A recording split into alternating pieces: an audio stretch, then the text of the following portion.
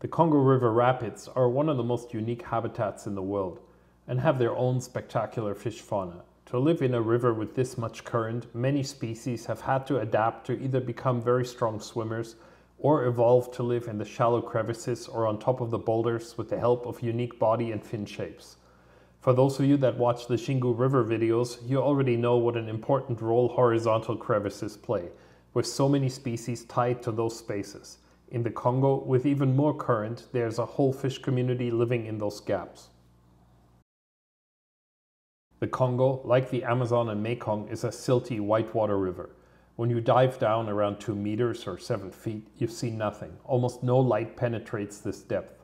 Vision and color is not so important for the fish. Instead, we find fish adapted, with reduced swim bladders, flattened bodies, often living deep in the crevices created by cracked boulders and sheets of bedrock. It is kind of easy to mimic this environment in the aquarium because any flat rocks stacked on top of each other will result in those horizontal gaps. Different angles also create crevices with more or less current that can be occupied by different species. Much of the middle Congo, from the capitals of Brazzaville and Kinshasa downstream to nearly the western Central African coast, consists of extreme rapids, because the large wide Congo sector known as the Malebo Pool squeezes into a narrow canyon with sheets of bedrock and gigantic boulders on either side. Perhaps the most surprising thing is that some of our well-known aquarium fish, such as Nanochromis parilus or Phenacogrammus interruptus, the Congo tetra, occur here, not in the slow-moving or clear little streams like many Apistogramma or Hyphessobrycon in South America. The most well-known cichlids from the Congo are the buffalo heads. Just downstream of the Malebo Pool, that means Steatocranus casuarius, gibbiceps, and tinanti. They live in the shallow rapids, grazing on algae and insect larvae living in the riverweed plants. These cichlids are easy to catch year-round and occur throughout the rapids in the thousands. And as you move away from this point just below the pool, the species composition changes. Both Steatocranus, the riverine Lamprologus, Nanochromis, and Teleogramma occur in overlapping distributions, with some hard to distinguish forms in the overlapping sectors. The cichlid species list sort of shifts upstream and downstream of the Malebo pool. Buffalo heads are incredibly hardy cichlids and all of the species remain reasonably small. While they can be shy in the aquarium, they are still fun to watch and relatively easy to breed. These Steatocranus tinanti or slender buffalo heads are just starting to mature. The males do not yet show the extremely elongated fins and large nuchal humps on their foreheads.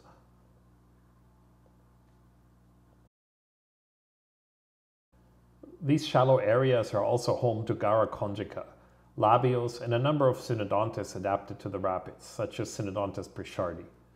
Garra are excellent algae eaters, and unlike some of the slender labeos, they are a bit less aggressive when adult. Like many sucker-mouthed cyprinids from Asia, once they are sexually mature, these fish can be extremely aggressive.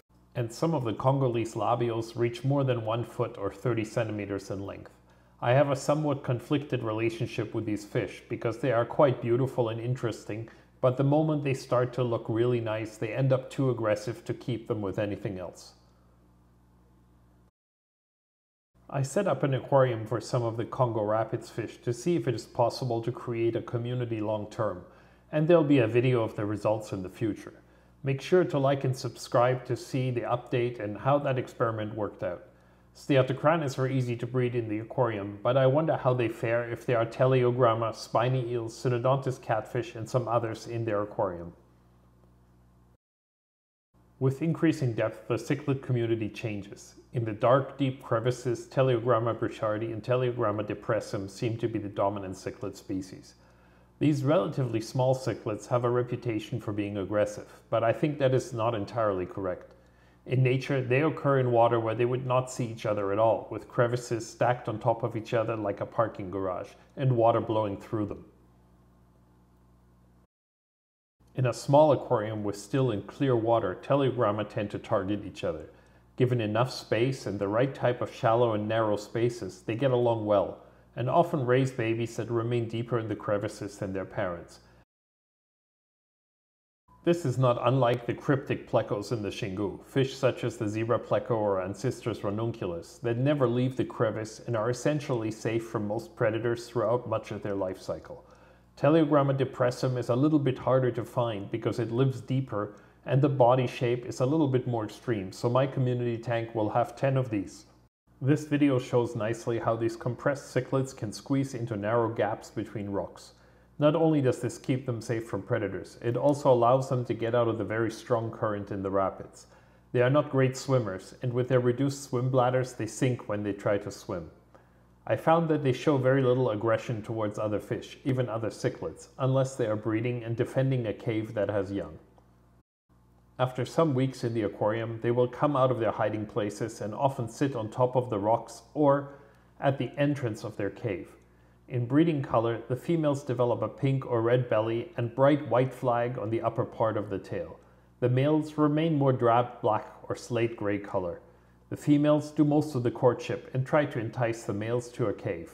Like Julidochromis from Lake Tanganyika, they can raise several broods of different sizes and ages at the same time. The Congo is not only home to unique fish, there are also bizarrely shaped mollusks and several species of freshwater crabs. This should be the first video of Erimetopus brazzae, a small bluish white colored crab associated with the rapids, at least according to the fishermen.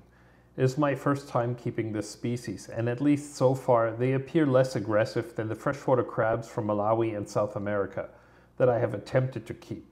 Perhaps this species would be worth a try with some fish in the past, there has always been the same issues. Either the crabs are catching and eating the fish, or the larger fish eat the crabs when they molt. Let's see how these guys will do long term. This species seems mostly aquatic. It does not need to get out to the surface to breathe, and they're not overly aggressive with each other. This concludes part one. I hope you enjoyed some of the odd fish you've seen so far. Subscribe and sign up for notifications from my channel to see part 2 soon with the blind eels, blind catfish and the blind cichlids.